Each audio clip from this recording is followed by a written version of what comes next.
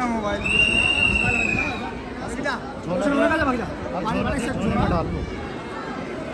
प्रसाद पकड़ प्रसाद। प्रसाद।